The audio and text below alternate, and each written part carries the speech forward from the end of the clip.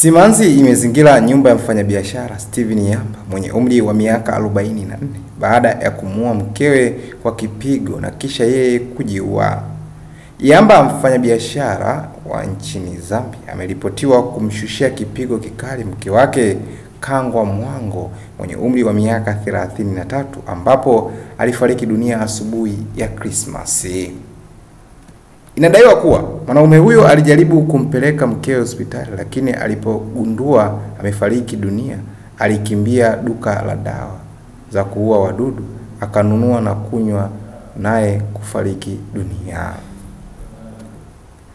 Jeshi la polisi nchini humo limethibitisha kutokea kwa tukio hilo na limebainisha kuwa uchunguzi wa awali unaonyesha kuwa mfanyabiashara huyo alianza kumpiga mkewe usiku wa saa moja Desemba 24.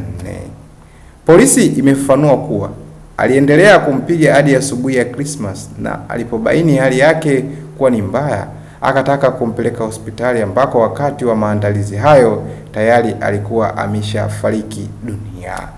Na hii ndiyo stori kutokea pale nchini Kenya ambaye inamhusu mfanyabiashara mmoja ambaye alimpiga mke wake na mwisho kumpelekea kifo. Mimi naitwa Sigifridi Kiawike na hii ni Maandai TV Online, sehemu pekee ambako hapa unaweza kujifunza ama ukapata vitu kwa kina zaidi.